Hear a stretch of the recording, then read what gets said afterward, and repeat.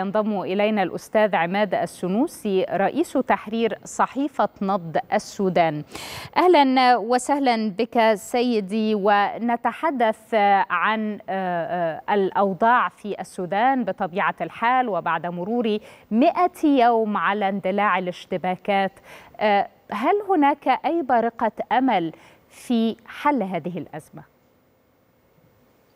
السلام عليكم ورحمة الله وبركاته. آه تحية لكم وتحية لكل المشاهدين الكرام. آه حقيقة الحديث عن الحرب آه يطول جدا مع دخولها اليوم ال 102 من تاريخ بدء الاشتباكات بين الدعم الدعم السريع وقوات الجيش القوات المسلحة. حقيقة هذه الحرب التي امتدت إلى أكثر من المائة يوم تضرر عدد كبير جدا من المواطنين وكذلك تضررت البنيات التحتية للسودان وكذلك تضررت حتى الجيوش نفسها المتقاتلة الآن. تضررت من حيث فقدان عدد كبير من الآليات العسكرية وعدد كبير من الجنود. وهذا الحديث يعني طعن في ظهر السودان نفسه.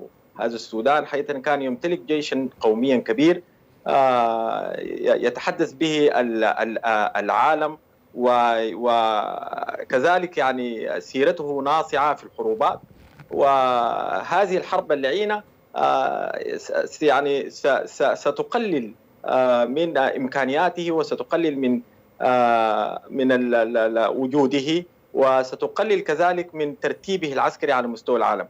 أنا أفتكر أن هذه الحرب دفع فاتورتها السودانيين أنفسهم من مالهم ومن أنفسهم ومن ممتلكاتهم ومن من الأشياء التي ترونها من النزوح واللجوء إلى دول الجوار. كذلك يعني هناك صوت شكر حقيقة أن إحنا من هذا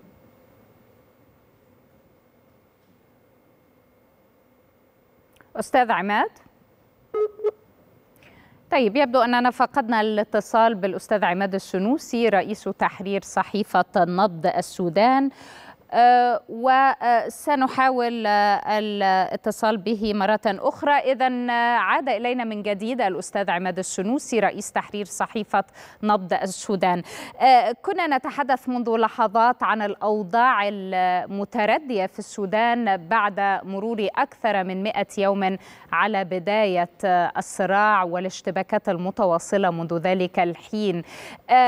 هناك بعض الجهود الدبلوماسية السياسية التي تقوم بها عدة جهات دولية وبالتأكيد مصر من أكثر الأطراف المهتمة بحل القضية والأزمة في السودان طبعا لاعتبارات كثيرة يطول شرحها ما تقييمكم للدور المصري حتى الآن وإلى أي مدى يمكن أن يساعد في حل الأزمة؟ اولا دعيني أستاذة كريمة أن أتحدث عن ال عن ال الخطوة التي قامت بها قوى الحرية والتغيير وحضورها مصر. هذه هي أنا بفتكر أنه هي النقطة البداية الحقيقية والنقطة الصحيحة بالنسبة لحل الصراع العسكري الآن في السودان. لماذا تعتبرها البداية الحقيقية أو التحول الحقيقي في هذا الصراع؟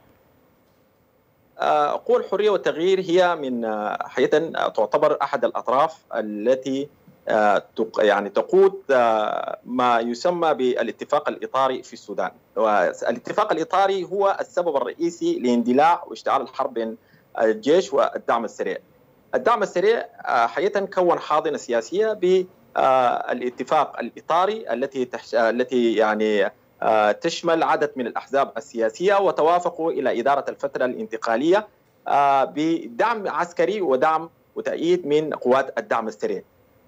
قوات الجيش رؤيتها كانت واضحة ومتكاملة حول ال ال ال الأزمة السياسية وحول الحل السياسي في السودان هو أن يكون الحل شامل لكافة الأطراف السياسية السودانية ولا يكون منقوصا من أي جهة حتى تضمن فترة انتقالية مستقرة وفترة انتقالية دون أي إشكاليات، لكن قوى الحريه والتغيير الحاضره الآن في جمهورية مصر العربية كانت تتعنت بأن تقود وتنفرد بالقرار السياسي وهم بضعة أحزاب.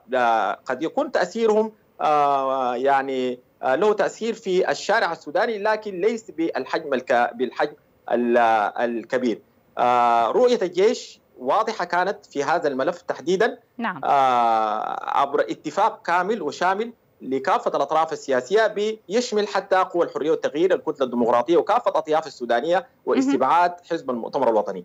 الرؤية رؤية الجيش أنا افتكر أنه هي رؤية يعني مقبولة ورؤية منطقية بما أن بما أنها هي مؤسسه الفترة الانتقالية في السودان وحامية السودان وحامية الدستور طيب. لكن السياسيين دائما أريد أن أتحدث معك عن بعض الأوراق الأخرى التي تستخدم ربما لمحاولة إعادة الأوضاع إلى الهدوء في السودان. منذ قليل يعني أشرنا إلى قيام الاتحاد الأوروبي بوضع إطار عمل مخصص للعقوبات في السودان طبعا يستهدف بعض الأطراف الفاعلة في الاشتباكات، هل تعتقد أن مثل هذه الخطوات يمكن أن تكون أكثر ضغطا للوصول إلى حل ولإنهاء هذا الصراع ولو لفترة؟ في الحقيقة أنا لا أعتقد أن تؤثر هذه العقوبات على مجرى الأحداث العسكرية في السودان. في في السابق فرضت عقوبات كثيرة من الاتحاد الأوروبي نفسه ومن الولايات المتحدة الأمريكية ومن عدد من الكيانات المرتبطة بالمجتمع الدولي فرضت عقوبات على السودان ولم تكن لها تأثير في في في في في تقدم مفاوضات أو إذا إيقاف حرب. أنا أفتكر أنه سلاح ال ال العقوبات هذا السلاح مستهلك. وحتى القادة العسكريين يعني منذ الحقب يعني السابقة منذ حكومة البشير البائدة أنا أفتكر أنه استطاعت 30 عاما تحارب هذا الفرض يعني العقوبات. فحتى السودان بعد رفع العقوبات الإمريكية عليه لم يحدث أي تحسن ولم يحدث أي حاجة. هذا سلاح العقوبات. هو سلاح حقيقة إعلامي لا يؤثر على مجريات الأحداث في السودان ولا أعتقد أن يستجيب الأطراف إلى هذه إلى هذه النداءات. قبل قبل بضعة أشهر هناك كان أيضا عقوبات إمريكية على بعض الشركات المرتبطة بالقوتين في السودان. وكذلك طرفات الصراع لم يعر لم يعر هذا الموضوع أي اهتمام. أنا أفتكر أنه الحديث عن عقوبات وعن حديث المجتمع الدولي هذا حديث لن يفيد السودان ولن يقدم السودان ولا ولا خطوة. أنا أفتكر أنه الآن الحضور الحرية والتغيير ووجود الكتله الديمقراطية الآن في القاهرة هو العتبة الحقيقية والطريق نحو استقرار السودان والسلام